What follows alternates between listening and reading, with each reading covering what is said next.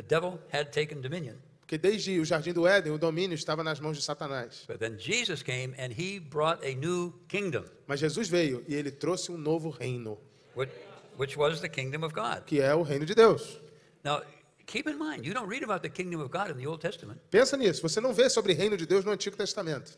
Satan was the one that had complete dominion over the creation in the Old Testament. Satanás é quem tinha domínio absoluto sobre a criação no Antigo Testamento. And he didn't have any kingdom that was against him. Ah, ele não tinha nenhum reino contra ele. Oh, Israel for a while. Ah, Israel, por um pouquinho. But most of the time they fell into idolatry Ah, mas a maioria das vezes eles mesmos caíam em idolatria. and nothing changed. E nada mudava. Israel was supposed to be a blessing to everybody else, but it never worked. Israel deveria ter sido uma bênção para todas as outras nações, mas nunca funcionou.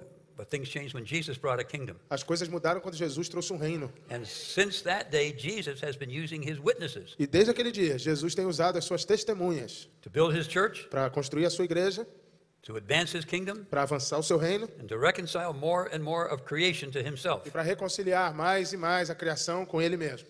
And the devil, E o diabo, it says the devil has great wrath because he only because he knows he only has a short time. ah, diz que o diabo tem grande ira porque ele sabe que o seu tempo está próximo. Satan has been losing ground for 2,000 years. Satanás tem perdido território já faz dois mil anos. And I think the process is about to speed up. E esse processo, eu creio que ele já só está ah, ah, encurtando o tempo, só está se acelerando. I'll say something prophetically. Agora eu vou falar algo profeticamente aqui. Satan will lose more ground in the next 100 years than he has lost in all the 2,000 years past. Satanás vai perder mais território nos próximos 100 anos do que ele perdeu nos últimos dois mil anos.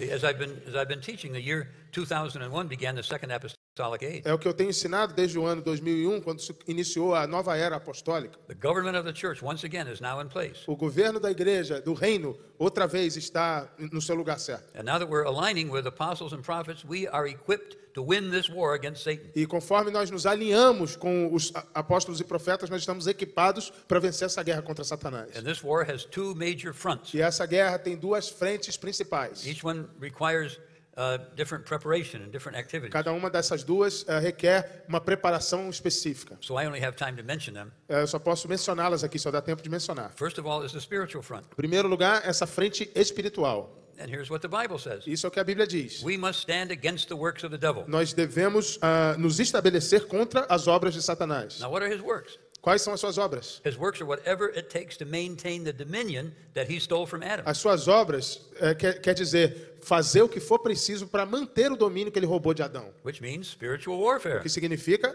batalha espiritual. For we don't, the Bible says we don't wrestle against flesh and blood, but against principalities and powers. A Bíblia diz que a gente não luta contra a, a carne e o sangue, mas contra principados e potestades. And I know that, that uh, here in Brazil, a great deal of spiritual warfare has taken place. Eu sei que aqui no Brasil tem muita coisa rolando sobre esse tema da batalha espiritual. I, I mean, I was here a lot in the 1990s, Ah, eu, eu costumava vir muito aqui nos anos 90 and Brazil set world records for the March for Jesus. e ah, Brasil bateu recordes mundiais da Marcha para Jesus, por exemplo. Were any of you in Sao Paulo for the March for Jesus? Alguém aqui já foi na Marcha para Jesus em São Paulo? It was enormous. É muito grande. They eventually shut down the city of Sao Paulo and had a March for Jesus Day. É como de repente eles fechassem a cidade de São Paulo para ter uma marcha para Jesus. I mean, the whole world was admiring Brazil. O mundo inteiro estava admirando o Brasil. And that was the year that Brazil beat Italy in the, for the World Cup. E aquele foi o ano também que o Brasil ganhou da Itália na final da Copa, em 94. Yes. Yes. I saw that game. Eu vi aquele jogo. It was in Pasadena, California. Foi em Pasadena, Califórnia. And I was in the Rose Bowl when Brazil played Italy. Eu estava dentro do estádio vendo aquele jogo, no Rose Bowl. And it came down to penalty kicks in the end. Some of you are old enough to remember E that. foi para disputa de pênaltis no final. Alguns de vocês lembram disso. And the hand of God was with Brazil. E a mão de Deus estava com o Brasil.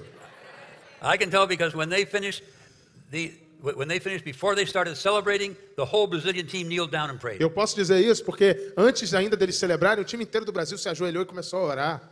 And so I believe that God was rewarding Brazil for the March for Jesus. Então eu acho que Deus estava dando um prêmio ao Brasil pela marcha para Jesus. That's my theology. Essa é a minha teologia. Hallelujah. Aleluia.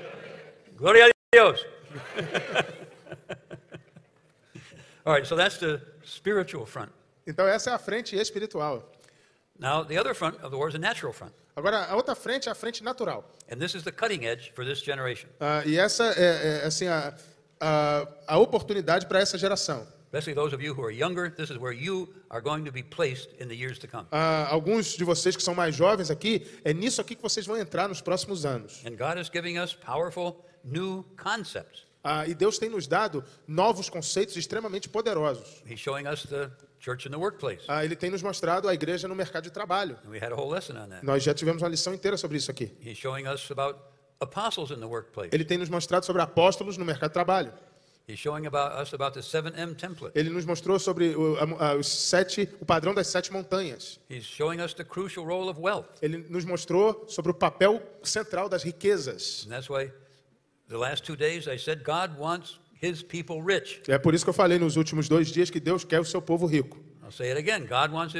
Eu vou repetir: Deus quer que o seu povo seja rico. So long as his people are kingdom minded Ah, contanto que o seu povo tenha mentalidade de reino. and they use that wealth to move forward in taking E dominion. essa riqueza seja usada para avançar e tomar domínio. Now, this is an enormous assignment. Mas isso aqui é uma tarefa muito grande. Are we up to it? Será que nós estamos prontos? Can we meet the challenge? Que- Será que a gente consegue ah, atender o desafio? Or are we just going to sit back and enjoy God and let the world go by? Ou será que a gente vai sentar, curtir Deus e deixar o mundo passar? No. Não. Will we take dominion? Será que nós vamos tomar o domínio? See. Sim. And that is my prayer for this congregation, Essa é a minha oração por essa congregação aqui, for this conference, por essa conferência, for the nation of Brazil. pela nação do Brasil. You led the way with the March for Jesus. Why not lead the way in showing how to take dominion?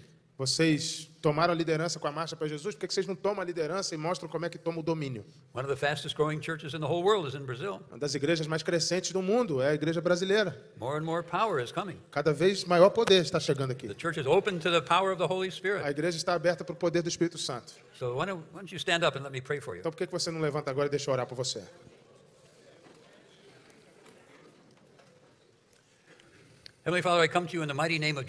Pai do céu, eu venho ao Senhor na autoridade do nome de Jesus. Lord, I thank you for each and every man and woman that you have brought together here. Eu te agradeço por cada homem e mulher que o Senhor trouxe juntos nessa tarde aqui.